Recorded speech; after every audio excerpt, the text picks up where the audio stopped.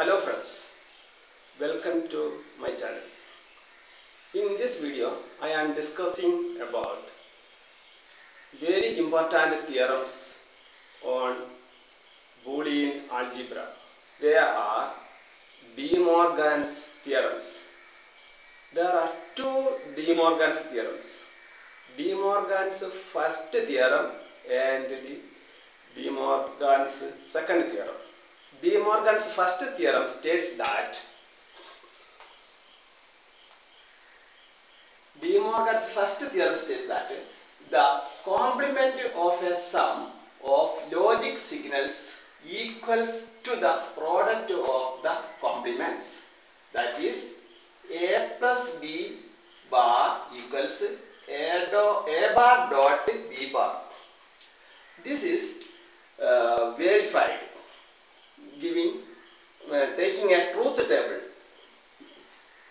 This is explained um, all possible levels for inputs a and b are inputs.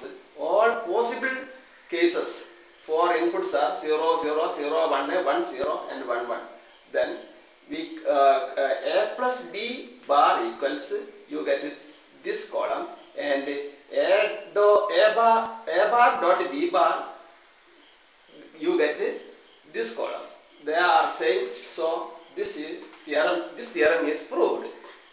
Similarly, De Morgan's second theorem states that the complement of the product of logic signals equal to the sum of the complements. That is, a dot b bar equals a bar plus b bar. Here also, this theorem is proved taking all logic levels, all possible cases for logic levels.